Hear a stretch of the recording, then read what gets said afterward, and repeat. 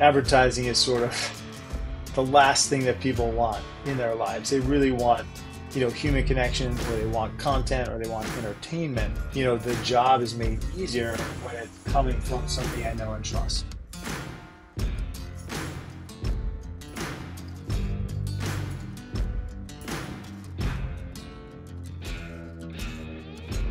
Welcome to the Backcountry Marketing Podcast. My name is Cole Heilborn. Today I'm sitting down with Andrew Katz. He is the CMO at Athletic Brewing. Andrew, how are you?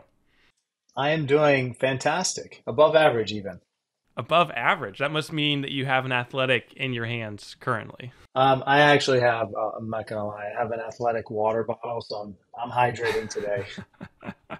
I love it. So before we were chatting, you mentioned that this is your first podcast or one of your first few podcasts that you. One done. of the first few, yes. Awesome. Well, I'm I'm super excited to have you on the show. I'm really looking forward to this conversation, and I know it's been a little bit of a, a little bit of a calendar schedule to try to make this episode happen, but here we are, and let's let's dive in. Andrew, I'd love if you could introduce yourself, just give us a little bit of the breakdown of your role with Athletic, and also give a little background on Athletic for folks who might not be familiar. Absolutely. So um, as you said, I'm the chief marketing officer at Athletic Brewing Company. I joined the company a little over a year ago. Um, in this role, um, I get to do a little bit of everything and anything. Um, we're still very much a startup, which is a lot of the appeal for me as a, as a marketer. Um, so, you know, everything from earned media to owned media to uh, packaging to PR, social media. Um, you know, I I have uh, my hands in all of that. Uh, my team is both domestic and international. So we have uh, a team of almost 18 marketers, which is pretty amazing, you know, in a company of about 200 people. I'd say the most important thing is, you know, we happen to have the best product in the non-alcoholic beverage space, um, especially when it comes to beer. Did non-alcoholic beer exist before Athletic? Because I feel like it's only been since Athletic has been around that it's become a thing. I think it's become cool because of Athletic. That uh, it's something that people are actually really excited to drink because it is um, an incredible experience. It's a really cool brand. It's a very modern take on uh, the category prior to athletic. Um, O'Doul's really sort of uh, pioneered the category, but it had so much negative baggage associated with it. It was really designed for people who couldn't drink alcohol. So primarily, uh, you know, alcoholics came in a dusty green bottle. Uh, it's owned by ABI. So Anheuser-Busch owns it and I don't, you know, I don't think it was ever really a priority for them, but they made it available because, in part, I think they had to, from a PR standpoint, they needed, you know, some kind of alternative uh, to al- full alcohol. Um, but the category really had seen no meaningful innovation in 30 plus years. And when Bill, you know, first had the idea uh, in his mind, you know, he was very much, you know, uh, a Wall Street guy, a high performance guy, um, who really cared a lot about his health, but first and foremost, that he really wanted to be at the top of his game, and you know, spent a lot of evenings out with clients, and you know, he didn't really necessarily want to drink because he knew the next morning he was going to get up and he wanted to, you know, get his fitness done, and and so he, you know, I think he really searched to solve his own personal problem, which was I really love beer. So you you the company was founded fairly recently. Um, I read a stat somewhere that I think sums up some of the growth that you have been having the last few years. And this is from Inc. magazine. You were rated as one of the 26 fastest growing private companies in America. I'm, I'm assuming that's accurate. Yes, yes, it's uh, it is 100% accurate. We were the 26th fastest growing private company in America last year. That's right. Wow, that's amazing. How does that feel? Um, it feels exciting. Um, it feels that there's a lot of wind at our back, but the reality is, you know, as as you and I were discussing sort of before uh, jumping into this part of the conversation, we're just scratching the surface. Um, you know, by way of uh, the numbers, you know, the entire non-alcoholic beer segment is less than a, a total share point of all beer. So it's it's less than a billion dollars in a 110 billion uh, category. So there, there's a long way to go to making this a more mainstream, uh, you know, experience. And I think just education really is at the core of a lot of our marketing. You know, educating people on why would I want a non-alcoholic beer, you know, and giving them a lot of reasons to overcome their their barriers. Yeah. Yeah. Well, I want to get into that in a moment, but let's rewind briefly. Could you give us a little bit of your story, of your background? I know you've been in the beverage industry for a long time. You've worked on a bunch of notable campaigns and brands. Could you kind of lay that out for us?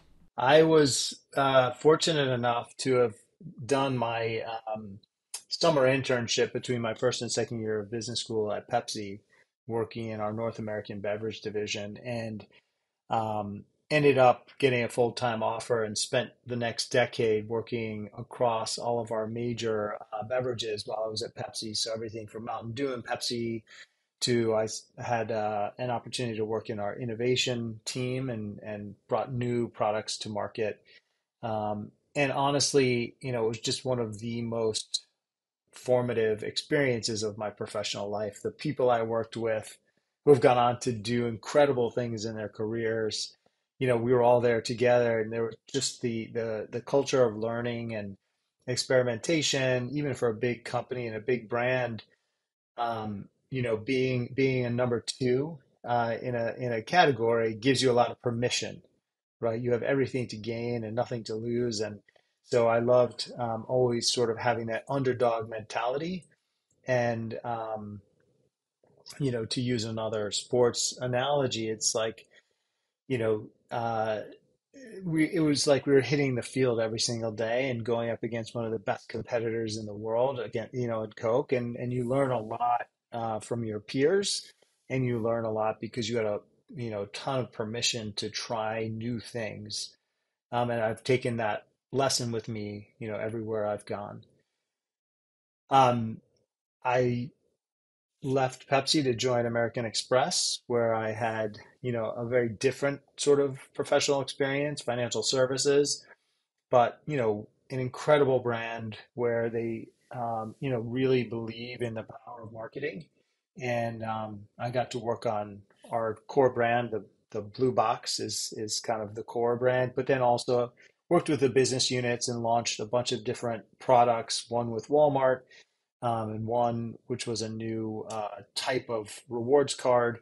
But again, I think being around a lot of very smart, very savvy marketers, and all the while that I was there, the landscape, especially the media landscape, was evolving very rapidly. Social was becoming much more uh, found like much more of a, a, a marketing channel, and then just you know kind of the advent of Facebook and Instagram, and a lot of that was happening while I was there, and just navigating all of those different platforms was, you know, an exciting thing to do as a way of, you know, how do I connect to my, uh, you know, user in a profoundly different way than I've been able to in the past, and so that was that was great.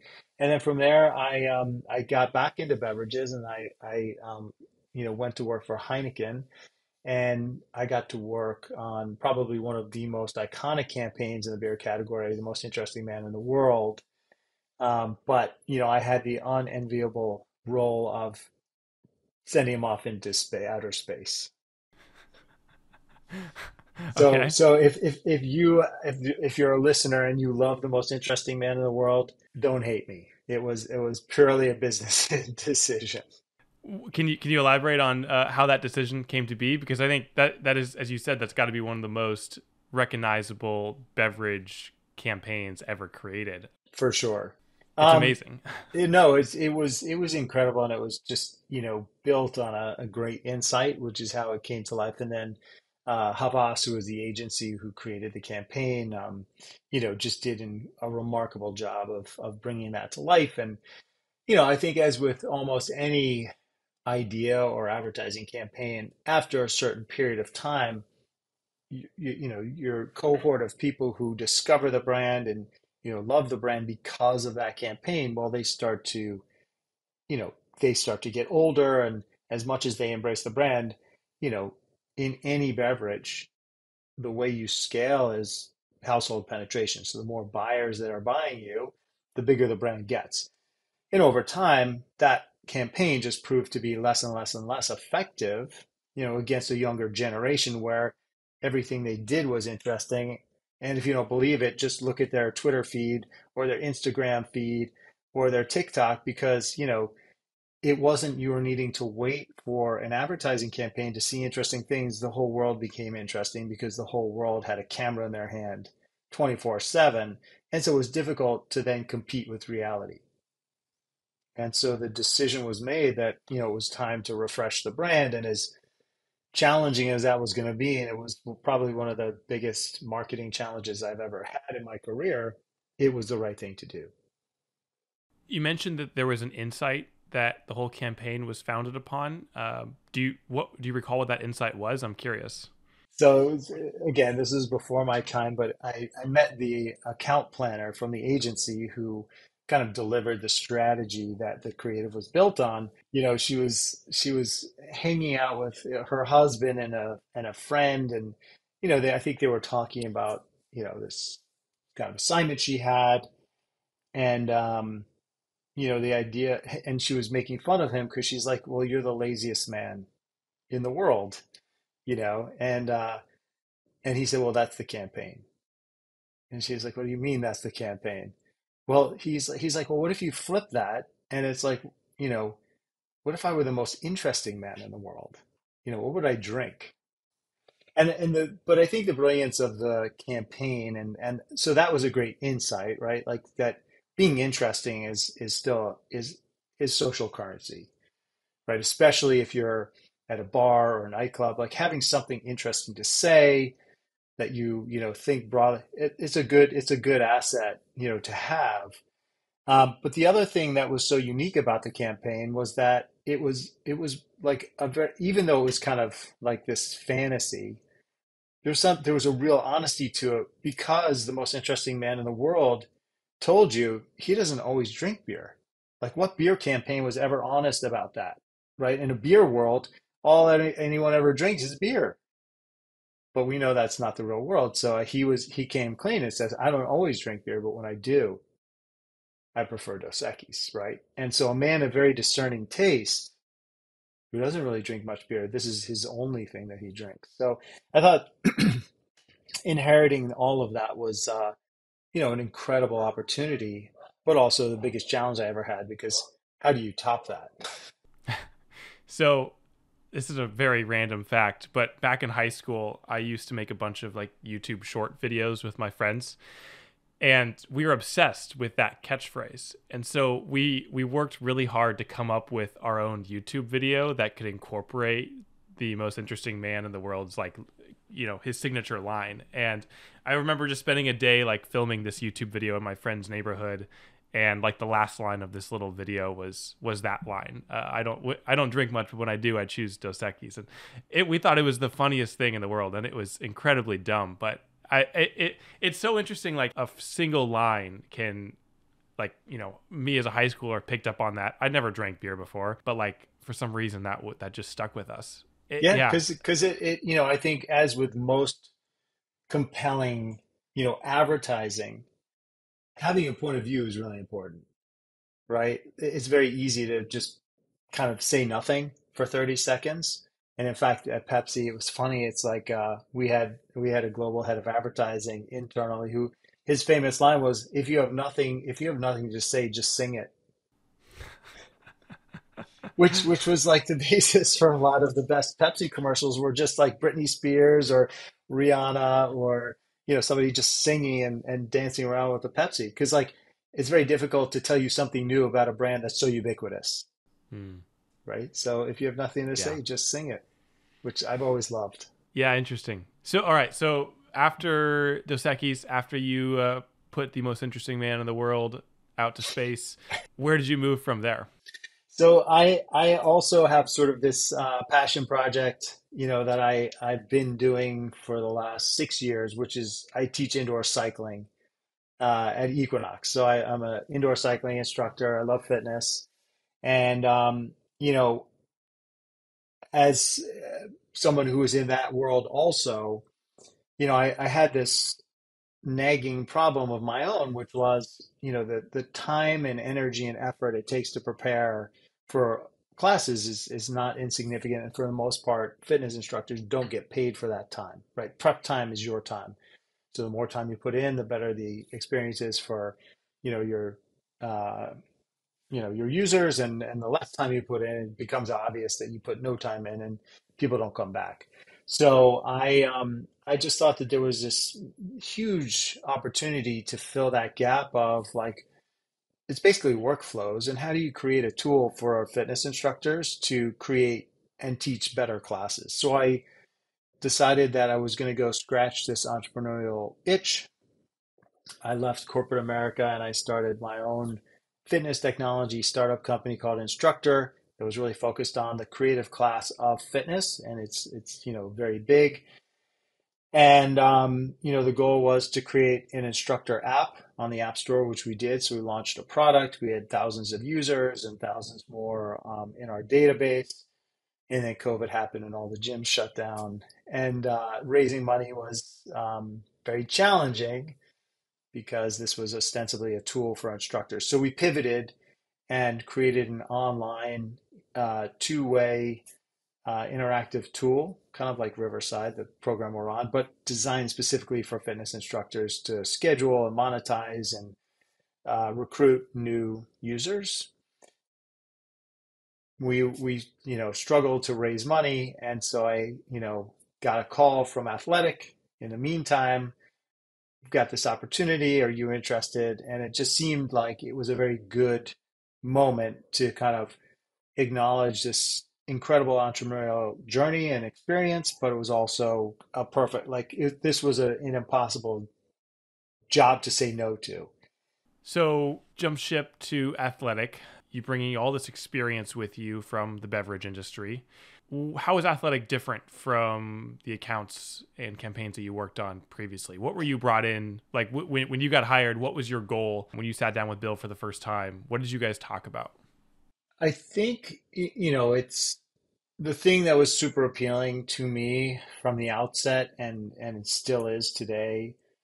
Um, a founder-led company is just a fundamentally different experience from working for a corporation. So, Bill and John, you know, it's their business, it's their company, it's their life. They've poured everything into it. So, having that um, as our kind of foundation is is an incredible thing, right? And that a nameless, faceless corporation is just that a nameless, faceless corporation.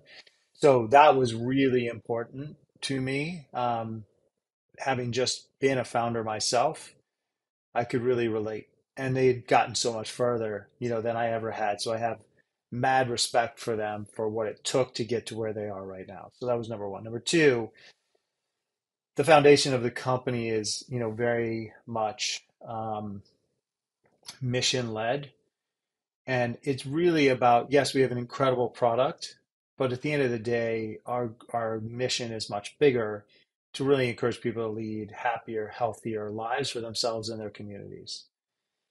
And you know, in addition to being a B Corp, and in addition to granting $2 million worth of our own profits to trails across uh, throughout the world so more people have more access to the outdoors um, you know, like those things were so important and so compelling for me where I was on my own personal and professional journey that like that those two things were just profoundly different than anything I'd ever uh, experienced in my professional life.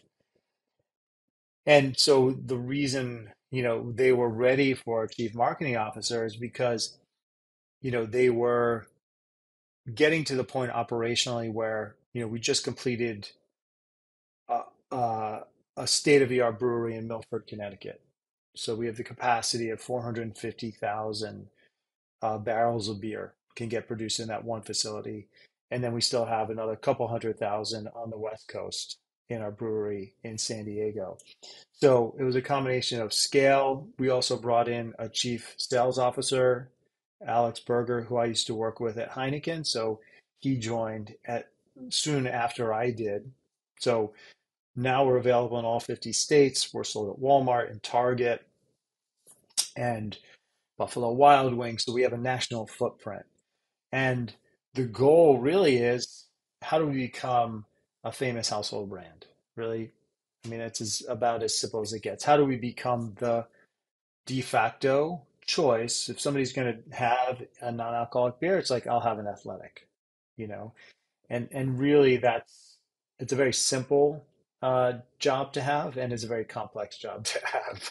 I can imagine. I mean, it's it's a simple goal. I mean, you you you said it in you know ten words or less. But in terms of actual execution and achieving that goal, I mean, that sounds that sounds complicated. So how do you how do you how do you break that down? How do you begin to think about that goal and dissect it into you know smaller goals or next steps or things you want to implement? Uh, I'm just trying to understand like how how do you take a huge goal like that and then actually start to put a plan to it?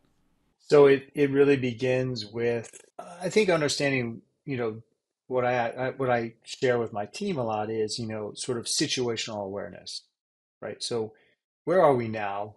Because where we were a year ago is so profoundly different. So what worked a year ago isn't necessarily going to work now.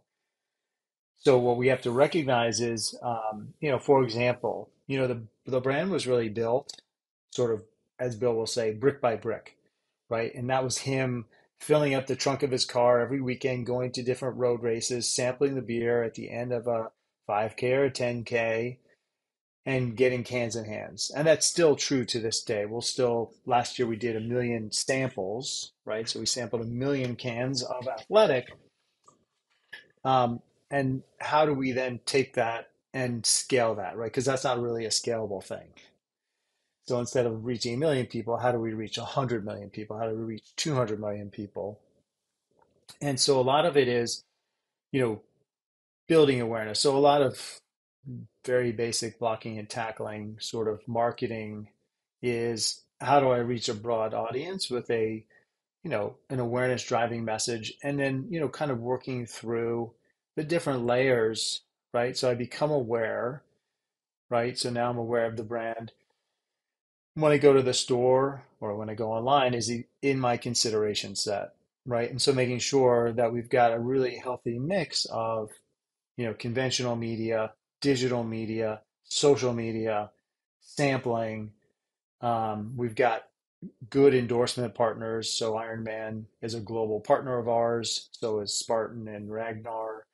Um, we've started to branch out into venues, but how do we start to kind of, you know, from a grassroots uh, foundation, how do we kind of like work both the top and the bottom at the same time? We've got this incredible network of 1,500 ambassadors across the country, you know, that really love the brand and are our brand evangelists. And you know, it's a it's a formal program where they are part of our brand, you know, and they help to share with their friends and family and you know followers who we are and what we do especially in today's kind of attention deficit economy where everybody's competing for a share of mind.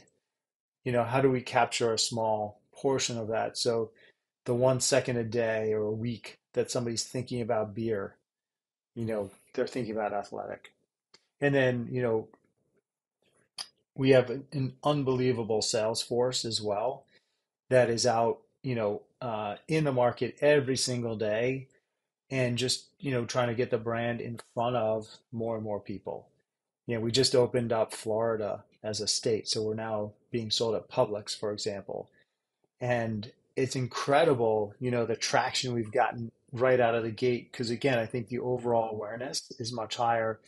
And then it doesn't hurt that you know bill and john are sort of you know media darlings and we've done a great job on the PR front, just getting a lot of what we would call earned media and people discovering the brand because they read a story about, you know, on Planet Money about it's a golden age of non alcoholic adult beverages.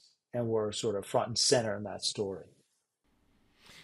So, in the example of, of Florida, just, you know, getting getting cans into the stores there. I'm curious when that happens, do you see an increase in engagement of content or digital impressions from the state of Florida now that cans are, are available there?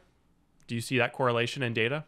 Yeah, I mean, we we certainly see it in the the numbers. You know, we see it in the sales numbers, and then also we can see you know searches. We can see. Um, we also are a direct to consumer brand, so we're able to sell um, a lot of our product that's not available in store. So we create on average six new brews every single month. So we have what we call pilots. So these are smaller batch, limited time, uh, brewer inspired um, products. And then we'll have limited edition products that either could be partner based or just seasonally based. So people start to discover the brand and see that we're not like a conventional brand, meaning, you know, Bud Zero, Heineken Zero, they're great competitors and they're great, you know, products, but they're lagers and they have one thing. You know, so in our case, we produced over 50 different styles of beer last year. And, you know, one of the things we do know in terms of this category is that variety is really important. I'm not always in the mood for a lager. Sure. Yeah, you got to match those winter days with a nice, dark, smooth beer. yeah, and I, and and people have just gotten very sophisticated about what they drink, you know, and and uh, I don't need to tell you because you probably are aware, but you know, just the beverage category, sort of writ large, there's so much, you know, there's literally a product for every need state, for every day part, like whatever I fancy, it's there, right? Part of it is, you know, is it on the shelf? Um, but, you know, it's incredible the amount of choice. It's almost the tyranny of choice that exists out in the world right now. So I think, you know, when people can find a brand that they really trust, anything that we then put out into the market is worth my money because I know they're very high quality. I know they're very consistent. And they also, as you know, in, in terms of a company, I really subscribe to what they do and how they do it. And that, you know, also makes more, uh, that's just so much more important now than ever before. You know, people really value who they do business with right? And and my money is kind of a reflection of what do i kind of value. Do you have any data or have you guys done any research on your customer purchasing decisions or their flow? I'm curious you know how many people discover you at the store? How many people find you online and then go find you in the store? But i'm also just trying to think of like my own habits if i'm going to the local store to buy a six pack you know do I do I go there to purchase something I've always I, am already heard of, or am I going there to find something new? Um, I guess I'm curious, like what your thoughts are around the the buying journey. So, you know, it was there was a time in our history, especially like in the height of COVID, where people were really discovering us online. You know, and and we were one of the because we're non-alcoholic, we can ship to 43 out of the 50 states. So we were we were attracting a lot of new users um, because we were a D2C brand. We use the power of you know Meta and Google, right, to kind of find new customers and then bring them into our ecosystem. And we have a, a great subscription program, but also again we have all these you know new brews that we're putting out every single month. Um, so that was uh, you know a big source of discovery for a lot of people we have the good fortune to have a lot of um, you know well-known investors in the company like JJ Watt and David Chang and Lance Armstrong and Naomi Osaka. Um, and so again, those those you know celebrity investors are also extremely helpful. They've got huge networks of followers, and you know it's funny because advertising is sort of the last thing that people want in their lives. They really want you know human connection or they want content or they want entertainment. And so you know the job is made easier when it's coming from somebody i know and trust right? So if, if it's good enough for jj watt who is a super high performer you know chances are it's it's going to be good for me who's a weekend warrior right? At the core of the brand is you know performance matters. Like if if you are a person who needs to wants to perform like this is a great option for you. If that doesn't apply to you, then we're probably not going to be your brand of choice. You know, um, and and that's fine. And I think that's kind of an important thing as a marketer to know you're not for everyone, right? And you really need to know which tribes are going to subscribe to that philosophy um, because that's where we're going to invest our dollars. Yeah. So expand on that. What are some of the tribes that you've identified who who are core athletic tribes? So, um, you know, what I would say is our aspirational target of like professional athletes, and we've got a you know a big lot uh, a list of professional athletes in a lot of sort of adventure outdoor sports. So so that's sort of like our core. That's how the brand was built. You know, Brian Bazes of the world, um, you know, who's a kind of high performance living guy and and an influencer. Um, you know, and that's sort of like one tribe but again, that's that's a very small group, and not everybody's going to be them. They inspire a lot of people, right? But so anyway, so like that's a group. New or young parents, right, who still very much are into socializing, want to hang out and have fun, but you know, they've got babies at home, they've got young kids at home, they're up early. They need to be on, right? This is this enables them to kind of you know, hang out and be social, but also gonna wake up at five thirty with their kids and and be like their best selves. That's also why caffeine is really important. Um, and then, um, you know, as a society, Gen Z and millennials are choosing to drink less than any cohorts that preceded them. And so there's this sort of this natural built-in alcohol avoidance that is prevalent, more prevalent in some of the younger generations. A lot of it's driven by having experienced COVID, right? And being much more aware of well-being, like again, the total picture. So that's physical, mental, spiritual, right? And what relationship do I have with alcohol? And even kind of thinking to explore it. Um, and then, you know, there's lots of alternatives too. Like if we're being totally honest, you know, like, you know, CBD, THC is, you know, much more available.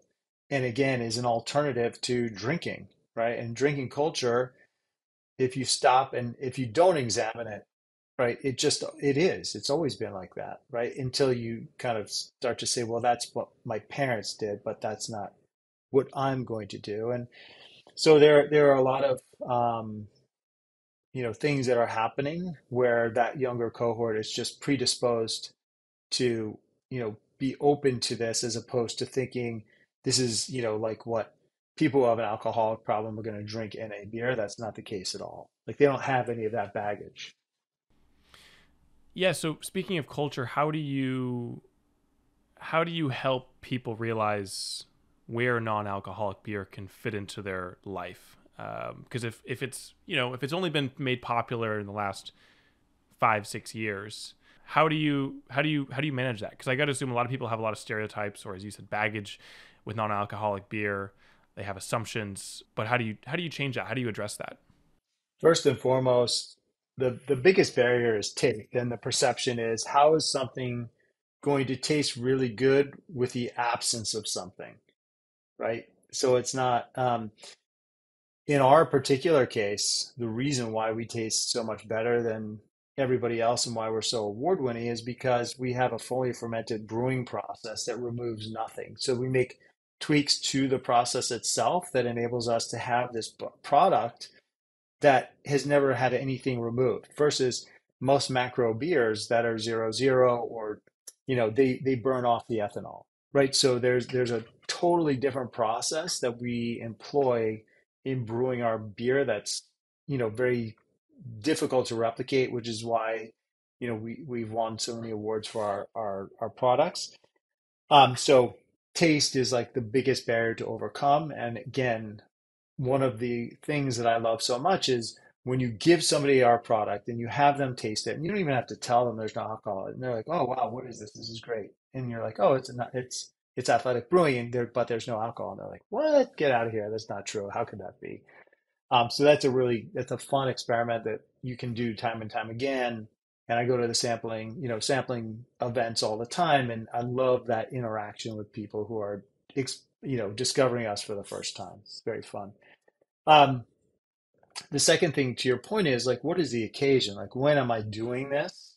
You know, versus regular beer, and and a lot of times it's it's you know the biggest occasions for NA beer, watching sports on TV, right? Because I'm I'm at home, I want to have a beer, I don't necessarily need the alcohol. It's a Tuesday night, I'm watching a, a, a random game, right?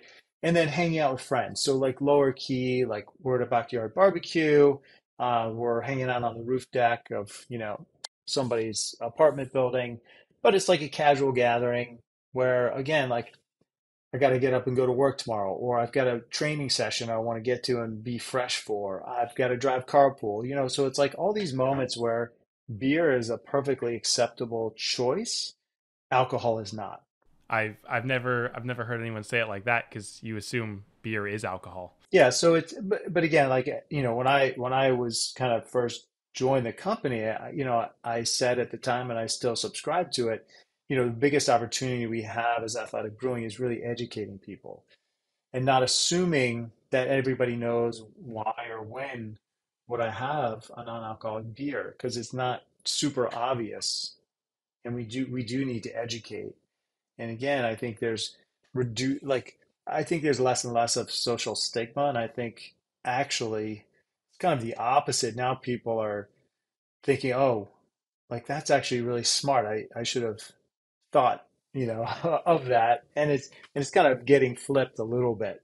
Again, like Andrew Huberman, Huber, Huberman Labs, you know, did a whole story or had a whole podcast on what alcohol actually does scientifically to your body. New York Times this dry January published over 14 articles in one month on all different flavors of, you know, dry January, what alcohol does to your body, you know, and blah blah blah. So again, I think as as as is true with many many other categories, the more informed and educated people are about you know things, the more edu- like the more they're choiceful about what they put into their bodies and when and how and how often. So when you think about this this need to educate. How do you, when you look at your, you know, your marketing toolkit or your quiver of of tools, uh, quiver of arrows, how do you deploy those tools, or how do you think about those tools? How do you use them to try to solve that goal of education?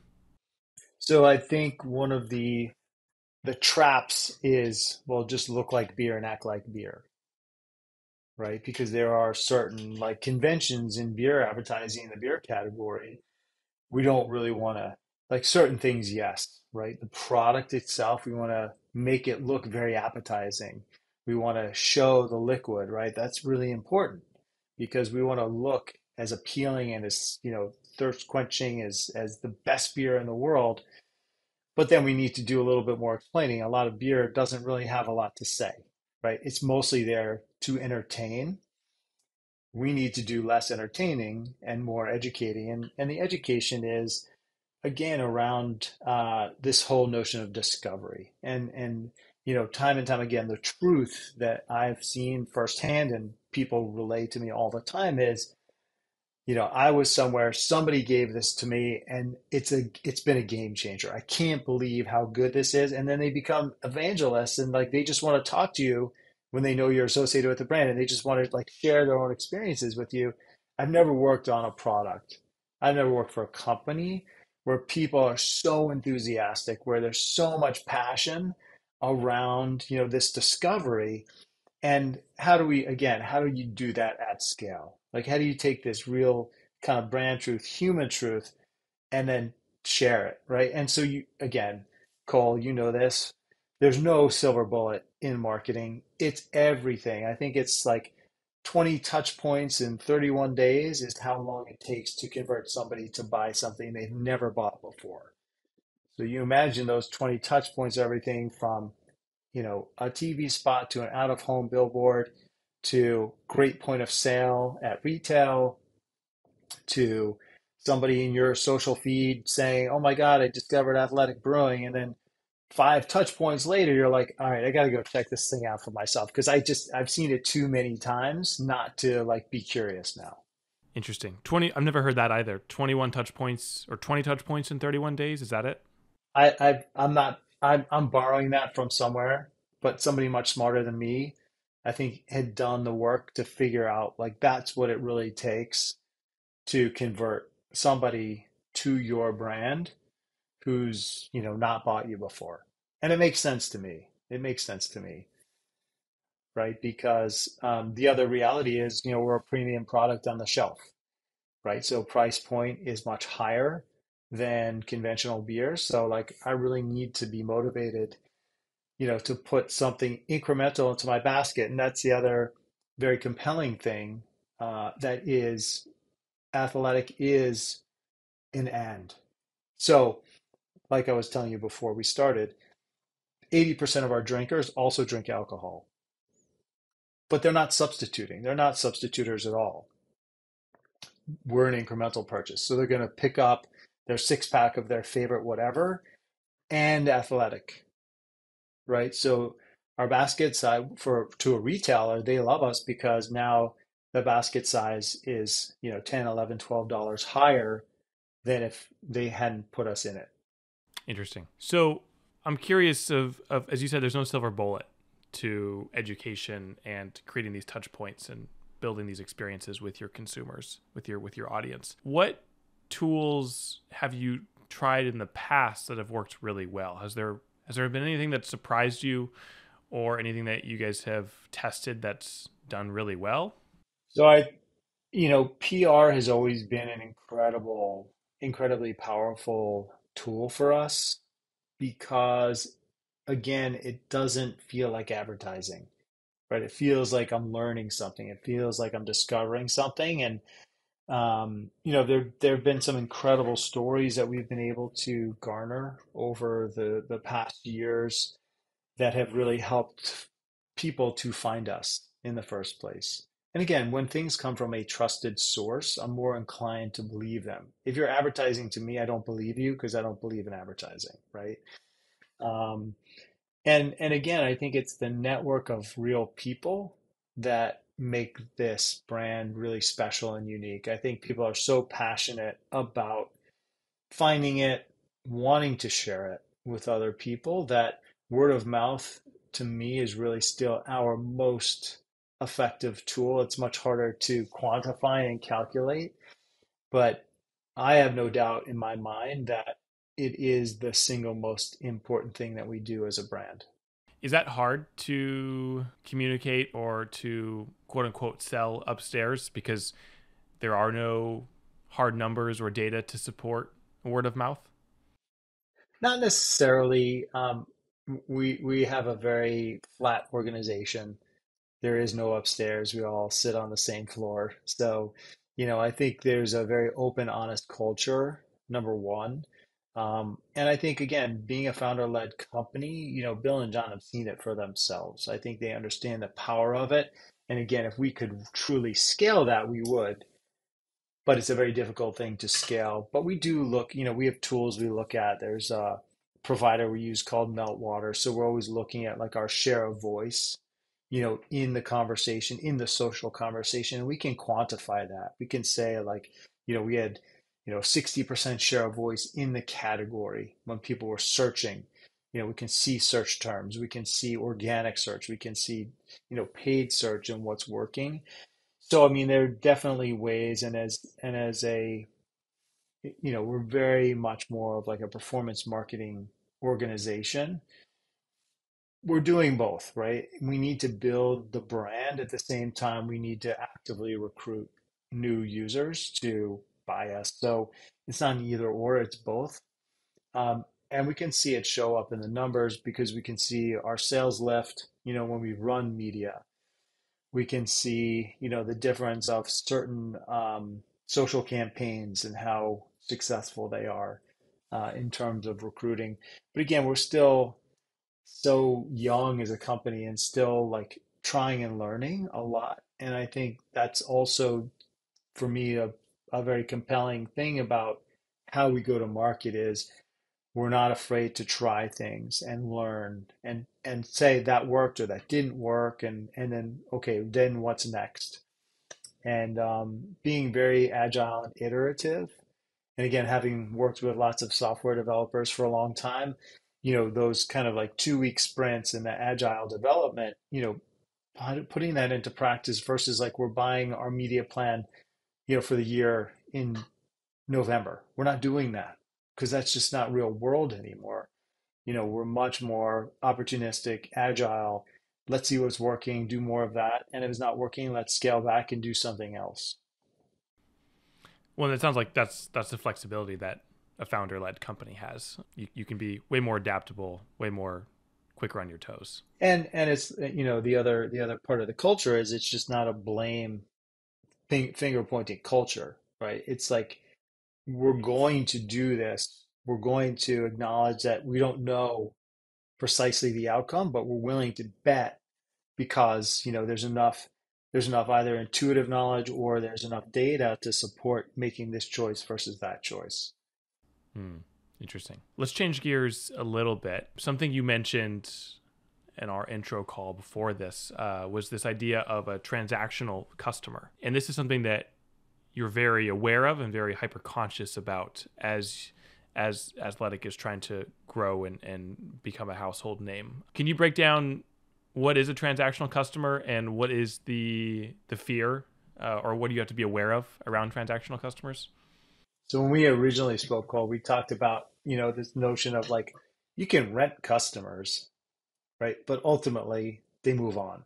Uh, beer in particular is very much a repertoire sort of a category in that I may drink seven or eight different brands. That's it. That comprise my repertoire of beer. My goal is breaking into people's repertoire. Right? I, I know I'm not going to get 100% brand loyalty, but if I can get two out of 10 beer drinking occasions, that's a major win. If I can become 20% of someone's volume right? I think that's as high as the cat. That's as big as a category as in any uh, country around the world. And you know, good anecdote is so we're the number one beer brand at Whole Foods, alcoholic or non-alcoholic. There's only one brand that's bigger than us, which is White Claw, but we are almost 10% of the beer category at Whole Foods. That to me is sort of leading indicator how big could we get I think we could get to 10% of total beer. Remember, we're less than a share point now. So I think we could get there. And how long? Do you have any predictions on the timeline for that? Um, you know, three, four years from now. I mean, it would be incredible growth to, to be able to achieve that. But I do think as, again, the consumer is shifting, brands, companies are going to respond. People are going to invest more in the category. Corona is launching a zero product this spring. It's going to bring a lot of new shoppers to this section of the beer aisle, right? The more money that people pour into the category, the more interesting it becomes, right? The more legitimate it becomes. So I think we stand to benefit disproportionately because of how good our product is. But again, we love that Heineken spending money in the Super Bowl. We love that Bud Zero invests. We love that, you know, this is just going to become another part of people's drinking experience. The difference is, again, and this goes back to the company you keep, right? Beyond price, what does this company stand for? Beyond experience, do I believe in their mission or not? Because, you know, Gen Z, millennials care a lot about you know who they do business with and who they spend money with. And we just do it differently. You know we do it differently than the competition which is why we're trying to really create this notion of like a customer for life. Like how do we how do we onboard somebody to the brand and then they discover a lot of the things that we do that benefit their neighborhood their community themselves that are just fundamentally different than i go to the store and i buy the cheapest thing i can find and then I go back the next time and I buy the other cheapest thing I can find. And there are plenty of shoppers that are are doing that. And I again, I don't you know, take exception to it because that's just kind of like if this is how much money I have in my pocket, this is how much money I'm going to spend, right? So it's a luxury to think that we can build this lifelong relationship with people. But I do believe because of the dimensions of our company, because we do only one thing, you know, we make the best non-alcoholic beer in the world. All of our competitors, for the most part, are making alcoholic products as well as non-alcoholic. So no one is maniacally focused on this the way we are and put everything that we can into this one thing and do it better than anybody else. And again, you know, a transactional company is one that really is not invested in anything beyond just, you know, just getting the transaction. I think we're much more interested in building relationships, offering something beyond the beer and the, you know, and giving something of value that transcends the price. Hmm. So as you look back on your career with all of all of the experience that you've had in the beverage industry, how do you feel like the beverage industry is changing? Um, is it changing? Does marketing look the same as it used to? I mean, obviously it doesn't because, as you mentioned, you, you were at the beginning of, of Facebook and and Instagram. But how is it changing, and how do you think some of the bigger corporations are evolving and adapting to what's happening today? So it looks nothing like when I first joined. You know, um, I think you know, kind of the beverage category again, like the kind of the big kind of all-encompassing beverage category, is just a much more interesting place than it used to be. Um, I think that there are so many different types of producers. I think there's so much, you know, more innovation. Um, I think the the playing field has been leveled because you know, all I really need to kind of go to market these days is, um, you know, I just need a really good product and the internet, and I'm good. That was never the, you know, when it was Coke and Pepsi and Dr. Pepper, like, okay, good luck getting onto a store shelf because you won't. Because the problem was always distribution. That problem has been solved. So I think, you know, innovation is, you know, driving even the big guys to think differently and do differently. In the beer category, I still think it's much more slow to evolve. I think that there's just a lot of legacy there that the way that, you know, the laws, which are very antiquated, the route to market, you know, is very complex. And, um, you know, getting to scale is really hard. There are 9,000 craft brewers in the world. In that, sorry, not in the world, in, in the US alone. Right. So, so again, there's lots and lots of small players, right? And, and again, you can open a brewery, you can open a, a, a tap room kind of anywhere. So the barriers are pretty low, but getting to scale is really hard. Um, and so again, then kind of taking that and then in, in marketing, uh, you know, how do you get, how do you grow? How do you scale? Um, and it, and it's like I was saying before. I mean, I think the thing that doesn't change is like the human story behind all of this is still really interesting and compelling, and telling that well is easier to say and much harder to do. But I think telling that human truth, like beer advertising traditionally, is not very it's not really doesn't kind of deal in the truth. I think we have an opportunity to be very truthful about the experience and like what the benefits are versus you know others. Um, and then you know I just think it's uh, an opportunity for us like to be a very modern company, right? So a data driven company, a first party data company, a diverse company you know, one of the things to me that a huge opportunity, especially in brewing, I think we do a very good job of, you know, there are a lot of women that work for athletic brewing, but, you know, from a diversity standpoint, we could definitely do better. And I think there's opportunity to do more and kind of reflect the people that we want to sell to, right? Is having them be a part of our company and our culture. So I think there's big opportunities there for us. And um, you know, the thing I love about kind of what's in front of us is there's so much more, you know, kind of to do and experiment with and and try and, and again I think for us one of my favorite things to do is collaborate with other companies. And again I think we can do that because you know we don't have to worry about scale per se. We don't have to worry about you know all the rules and regulations that a big company does. We're it's like you want we like you guys you like us all right let's do something. And and it's oftentimes as simple as that. So again just trying to maintain that entrepreneurial spirit even as we get bigger how do we retain that like that spark and never let that kind of go dim because we've gotten you know too big? So you, earlier you were mentioning the truth the human truth of the brand and telling those stories and, and just being true to who the brand is. Is that why you love what you do? Is that what you enjoy about marketing and working with athletic? 100% you know where sort of like life stage and career and so forth where i am personally is you know i really i care so passionately about health and wellness and well-being. Um, i don't feel like i'm compromising at all um, on my own sort of core values when i'm introducing someone to the brand.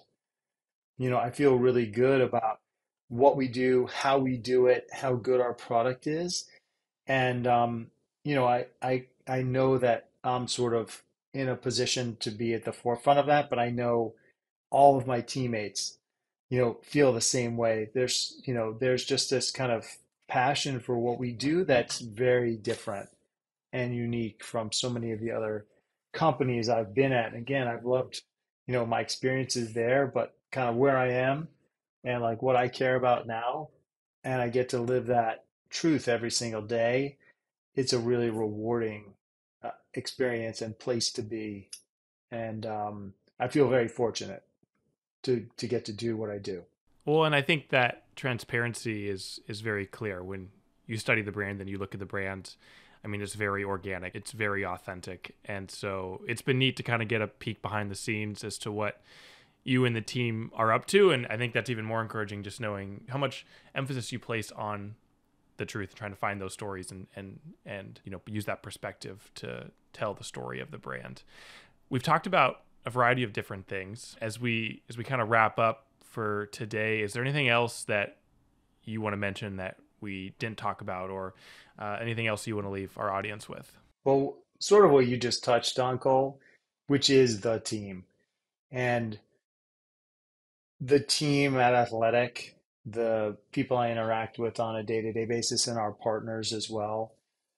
It's a remarkable group. And, um, you know, I especially am blown away by, you know, how creative our brewing team is and how, um, you know, they're, they're constantly creating, uh, these new experiences and, and these new styles of beer and are really unafraid to try like kind of the impossible. And like we had a, a product that we launched called Chelada Nada, which is a Michelada style beer, and like working with tomato paste like as a as a base, apparently was super complex, and they had a lot, a lot of like trial and error to get it to work, but it never dissuaded them from putting this really cool, first of its kind product out into the market.